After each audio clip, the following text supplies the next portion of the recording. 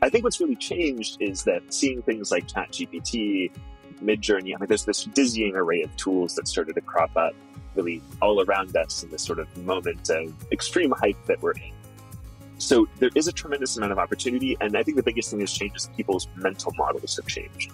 The idea of like, oh, maybe this is possible. Maybe I could have this system that creates a conversational interface around all of this different data. Maybe I can do that pretty quickly.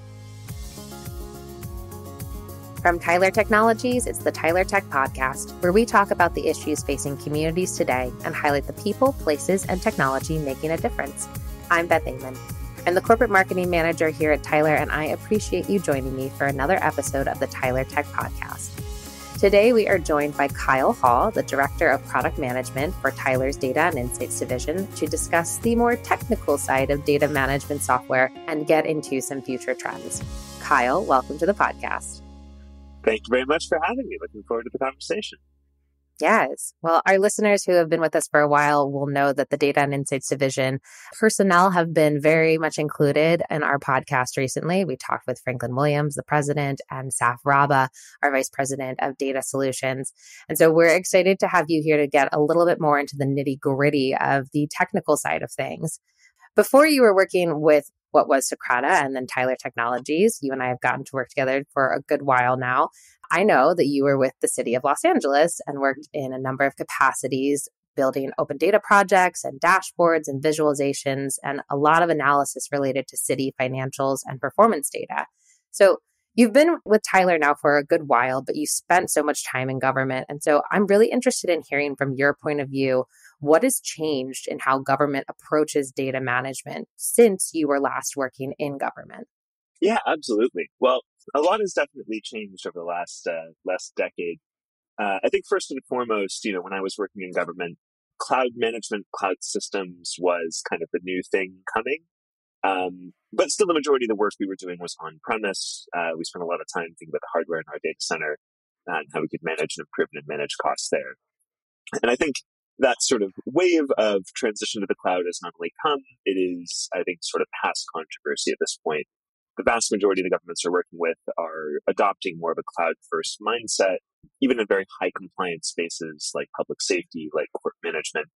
Uh, the technology has just improved, the security um, has improved, and really a lot of the policy and understanding is really a lot more mature than it was about, you know, when I was working in government a lot of the difficulty in incorporating some of these new systems and technologies is not just about the technology.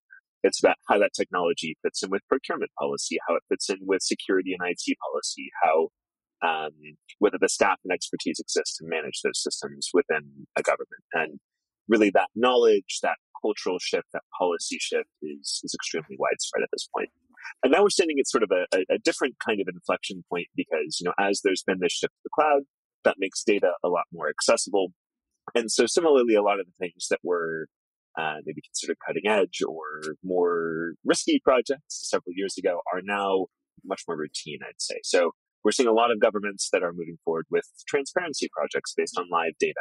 And the controversy around that is much lower than it used to be. We're seeing a lot of governments really move forward with trying to explore AI and process automation and some of these wraparound services that can uh, be effectively used when you have your data highly accessible and in a well managed space. And you know, you, you just see a lot more maturity and a lot more understanding of the opportunities as well as the risks and challenges that come along with a more cloud native data forward approach to running a government. It's interesting to think about cloud as being something that was so unfamiliar because it is such a huge part of our everyday lives as consumers and obviously for you and me and our everyday work. I, I think it's interesting that you talk about the comfort that's there now, that these are no longer cutting edge or scary innovations, but you did also mention cybersecurity, that these are not as scary anymore because there's also so much more security associated with having solutions in the cloud versus in on premises. It sounds like there's so much exciting stuff still to come though and it sounds like that governments have a lot to choose from and are maybe feeling more comfortable now with these innovative technologies and so thinking about from when you were working in government to when you are now working with government what are the capabilities that governments are most excited about implementing and leveraging yeah absolutely well a lot of government process started in paper, right? And since those very early times, the problems associated with paper are pretty well understood. Like things can get lost. It can take a long time to fill out forms. There can be reconciliation issues between multiple systems. So if you have multiple systems that are recording aspects of information relative to one person or one entity, there can be some like fragmentation problems. And so these are these are long running problems that have been happening for hundreds of years in government. So I think the things that people are most excited about is sort of asking that perennial question, is this the technology that's going to allow me to solve some of these perennial problems in government? And in a lot of cases, the answer is the technology very much can actually. So a very simple example is uh, we do a lot of work with folks in the health and human services side. And for a lot of individuals, there's a very complex array of services that they benefit from, that they can take advantage of. Generally, with a pretty high level of security and compliance, of that's health data, some of that's criminal justice data, some of that's other kind of social social service data, generally held in different systems that don't have a long history of talking to each other. But you know, one of the really exciting things about these highly secure cloud native data management capabilities that now exist is actually the prospect of bringing that data together is now practically achievable in a way that has been historically impossible. And so, you know, any new technology expands the horizon of what can be done uh, and really pushes forward sort of the art of the possible. So then it's just a question of procurement, of implementation, of policy, and of culture, right? So in a lot of cases, what we're seeing governments extremely excited about looking and say, hey, it is actually possible for us to build a more citizen centric view of the world and to make citizen services more cohesive, to make sure that different agencies are better able to communicate and share information with one another. So that, that remains, I think, the goal and the thing that people are most excited about. And it's really a question of can that be implemented? Can that be achieved? And that's really some combination of technology and best practice and cultural shift to say, uh, to get people more comfortable with sharing this kind of information. There's one of my favorite projects that we work on is with Fulton County. And, uh, you know, this is actually one of the major initiatives they have going on is sharing information between social service providers, between hospitals, between the county sheriff, really to identify certain individuals who may have interactions with the criminal justice system, but who also are receiving social services through other means and making sure that those individuals are maybe routed to diversionary care or get put into some kind of social support instead of jail, which in many cases lead to better outcomes both for the individual and a lot of cost savings for the jurisdiction. So, you know, when I look forward, a lot of the things that people are really excited about is, is really solving some of these perennial problems in government, moving forward, the ability to make things a little bit more cohesive, a little bit more centralized. And then, of course, AI also kind of shows up in that realm of, hey, I, w- I wonder what's possible. I wonder if that can help us with some things as well. Yeah, I love that you bring up Fulton County, and we will get to AI in a minute. But I think one of the big misconceptions for residents is when you think of this idea of government, you think, okay, it's one. It's one entity. Like it's the government's problem. They're going to take care of it for me. And as we know, that is not accurate. You mentioned, okay, different agencies within Fulton County who are working towards one common goal to serve a resident. We've talked on this podcast about how I can get my license from one organization, but I vote through a different agency. And then I have to send my kids to a different department for public school education and how they're, they're fragmented in a lot of ways. And even you just saying like a piece of paper can get lost. Imagine a piece of paper traveling through all of those different departments. There's this big misconception for everyday residents that government is one thing and government is many, has vast capabilities. And a lot of what happens with data management software solutions is that it's an attempt to connect those dots. Yeah, absolutely. And, and, and not even just government, right? You know, in that Fulton County example, a lot of those agencies are maybe nonprofits. Maybe they're private or semi-private hospitals. So it's really the, you know, you are totally right. There's this sort of magical view that people have of like, oh, there's some magical machine somewhere in the background in government that knows everything and manages all this information. Uh, and that, that simply does not exist. In some ways, it would be kind of amazing if it did. And in other ways, it would be probably less than ideal if it did. There's good and bad for every option. yeah, exactly. But the, the idea that you can bring this information together and also bring in people outside of government in a well managed and secure way, I mean, that's a pretty incredible innovation, right? That's really a huge shift in terms of what's possible around policy delivery. Because ultimately, you know, we live in a pluralistic society. One of the, the true hallmarks of American society is not just that government goes at it alone, but that there are this array of nonprofits, social service providers, private entities, companies, citizen organizations, all of whom participate in, in the construction of our society and the delivery of services. So the idea that you can really build programs and build information systems that actually kind of match that complexity without costing 10 years to make and hundreds of billions of dollars to put together is really pretty incredible. It's a, it's an amazing shift. Yeah. What was that phrase you said? It was practically possible what was previously impossible. Is that the phrase you used? Yeah, something like that. I think it's great and really points out where government is right now in terms of technical capabilities, that there is so much opportunity that was not possible before. We'll be right back to our conversation. I hope you're enjoying listening to this episode of the Tyler Tech Podcast. In today's rapidly evolving digital public sector, data isn't just helpful, it's pivotal. Quality data is the backbone of government functions, and in today's world, effectively using data increases government's impact and deepens engagement with residents. Tyler recently published an ebook titled A Digital Government Guide to Effective Data Strategies. This ebook helps leaders at any stage of their data journey. The ebook explores eight core benefits of effective data use, as well as real world examples from the San Diego Association of Governments, the state of New Jersey, and Clermont County, Ohio. Whether you're just beginning to realize your data's potential or you're venturing into integrative analytics, this ebook is designed to guide you through the data filled process, and by the end, you'll discover why data strategy is crucial, how governments can envision and actualize data programs, and you'll even receive expert recommendations for a clear data path. Your journey through this guide will affirm one truth the power of data, when harnessed, can transform the impact of government. Download this ebook now by clicking the link in our show notes. Now let's get back to the Tyler Tech Podcast. So, you mentioned the great buzzword, you mentioned AI. There's a lot of talk in this industry right now. I think every conversation I've had since becoming one of the hosts on this podcast has somehow included AI. And there's a lot of work that we think of as traditional government work that's been rooted in data science and not AI or generative AI. But there's obviously a ton of opportunity there. So, can you talk about the opportunities you see for governments to build on or expand their data science capabilities with AI? Yeah, absolutely. Well, I think the first thing to understand is that AI is part of a continuum, right? There's AI is not different than data science, and data science is not different than statistics exactly. You can think of data science as really fast statistics at a certain level, and AI is really fast data science. This would be a very simple way to think about it. But a lot of the core requirements to do any kind of analysis are very common, right? You need data of reasonable quality. That data needs to be accessible. You need to handle your privacy and security concerns. And you need to make sure that that data remains up to date. So a lot of those core infrastructure problems are really the same, regardless of the type of analysis that you're doing. I think what's really changed is that seeing things like ChatGPT Midjourney. I mean, there's this dizzying array of tools that started to crop up really all around us in this sort of moment of extreme hype that we're in, more justified hype maybe than in previous years. So there is a tremendous amount of opportunity. And I think the biggest thing is people's mental models have changed.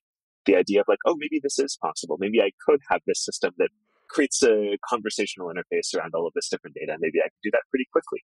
So we're still in this kind of very early moment, this very exploratory moment when it comes to generative AI and really understanding what does that actually mean for us? What are the best suited opportunities? So mm-hmm. you can think about it a lot like um, when we started shifting from on-premise hosted to cloud-hosted systems, there was a million things that people thought might, you know, be kind of the killer app. And in a lot of cases, it was email was like kind of the first thing that moved over that really changed people's lives.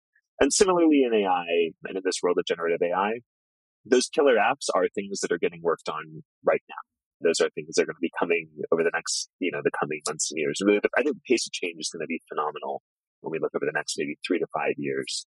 There's so much investment coming into this world of AI and uh, so many opportunities that are getting unlocked. Just to, for some very simple ones, you know, we do a lot of work around government transparency.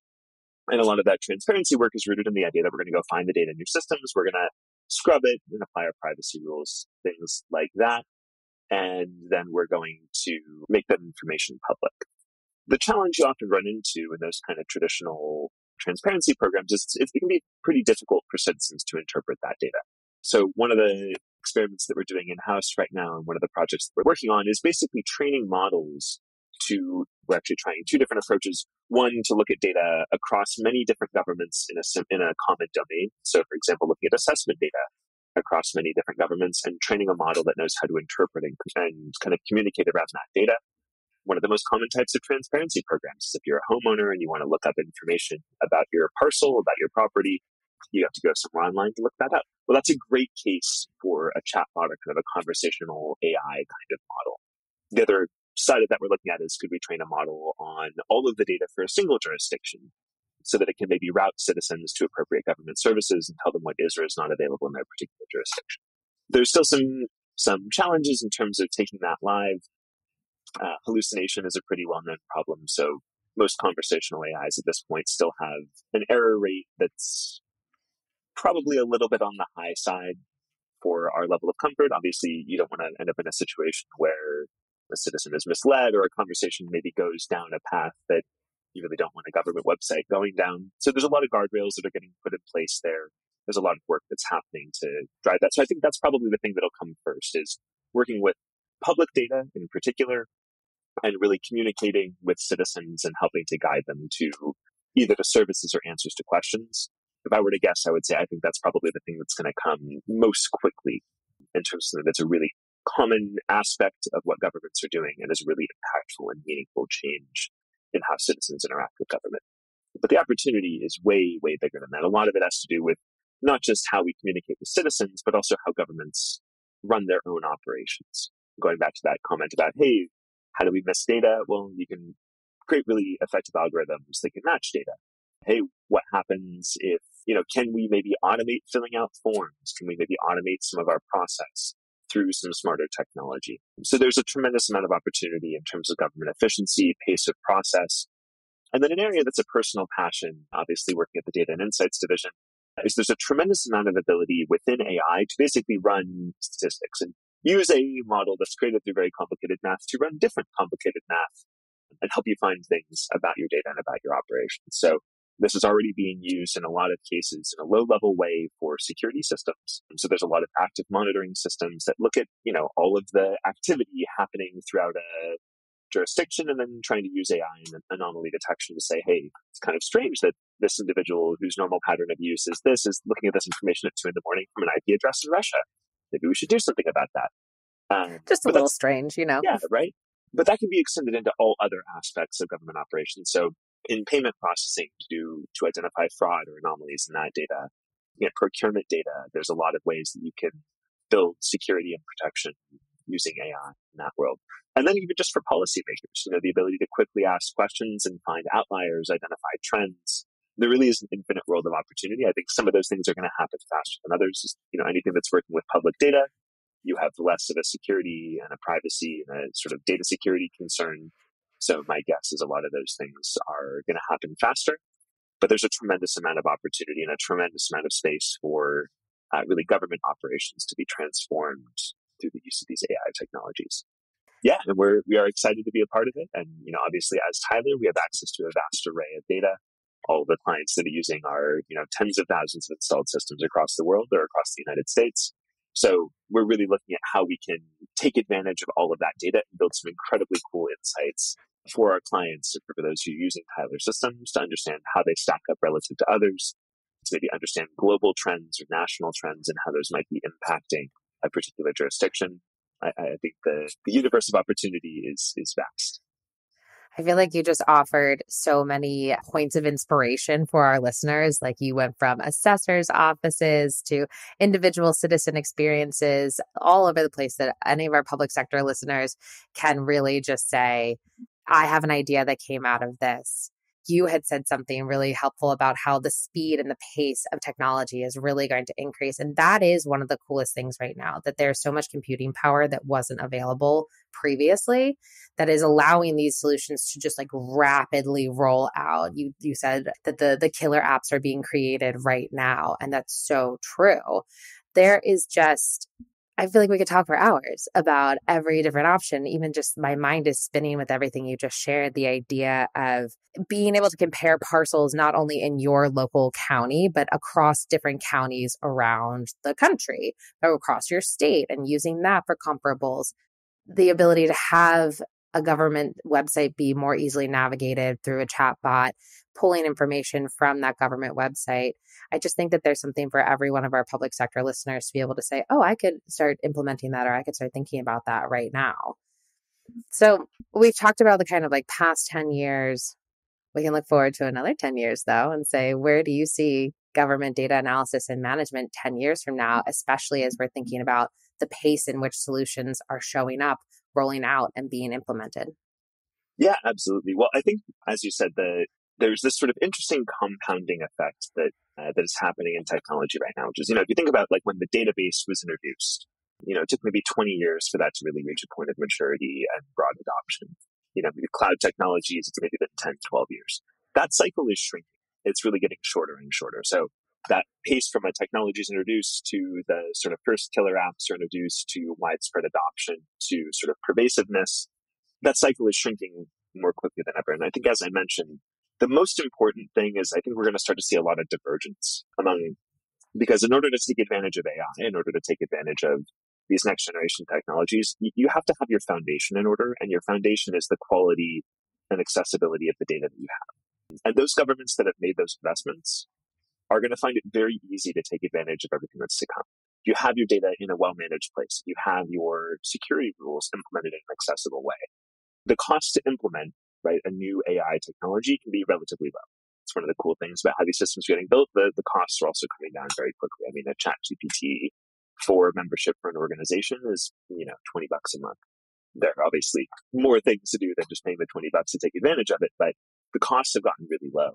But for those governments who haven't made those foundational investments, that's going to start to have a compounding effect. It's going to be not just that you don't have that core access to data, but all of the other things you might want to do with it are going to get harder and harder and more expensive and more expensive, longer and longer. Down. So I really do see, we start to see a lot of divergence where those governments that are making those investments that are really trying to stay ahead of the game and really tackle maybe some long-standing issues around data quality, data access, data security, really have a huge opportunity to leapfrog you know the current state of citizen experience whereas those who haven't made those investments are going to find it more and more expensive to keep up you know but when i look ahead 10 years there's always a background in government, which is citizen expectation.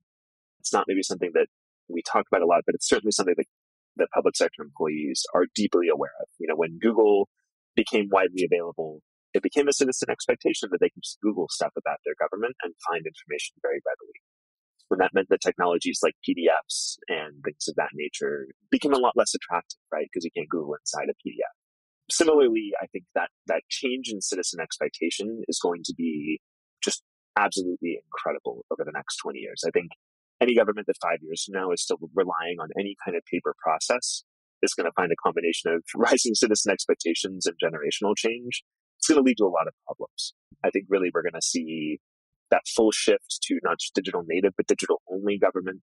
I think we're going to see really transformative change in terms of how citizens interact with governments. I think even the idea of a single government website as that point of access may fade out over the next 10 years. You could totally imagine a world where states or the federal government is offering single interfaces that can access the information of many different governments and route citizens in more central ways.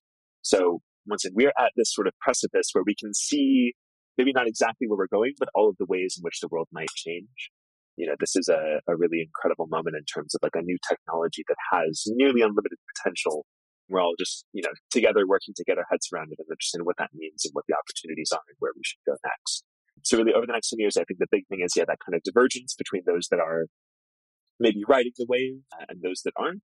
And then just that radical change in citizen expectation that's going to put a lot more pressure on those in the public sector to make information more accessible, make process more accessible, and really fully make that shift away from the paper process and paper mindset to something that is more self-service, more digitally native, more accessible to citizens. Mm-hmm. I think the call out for citizen expectations shaping what government services are is so important. The march of technology is going to continue. People do not want to fill out paper forms. I, for example, was sent a PDF and asked to fill it out, but I need to download it, print it, and then upload it back. And I'm avoiding that task because that seems more difficult than I want it to be instead of just inputting it into a digital system. So if I am irritated by that now, think about how people who are coming into the workforce 10, 15 years from now are going to feel about that. And I love the call out you had about having a solid data foundation. I think that that's something we really have tried to empower our clients with here at Tyler, making sure that they have good data governance policy, that they've been able to really work in in the culture of their government to make sure that there's an understanding of why data quality matters because you don't want to train an AI model on bad data. Hallucinations are one thing, but having the wrong information within that AI model is going to create a disaster for everyone who's involved. And it's something that I think our public sector listeners can focus on now instead of thinking, okay, well, we don't have the budget right now to employ some type of AI solution. You can work on data quality. You can work on having good data governance policies in place and making sure that your data management permissions are set up correctly and data sharing permissions are set up correctly. So there is a little bit of like, you can do it now type information for our listeners. Yeah, absolutely. I think the the best way to you know get ready for the future is to make sure your house is in order and you're you're ready for you know ready for the guests to come, if you will. the AI guests are coming. exactly, exactly.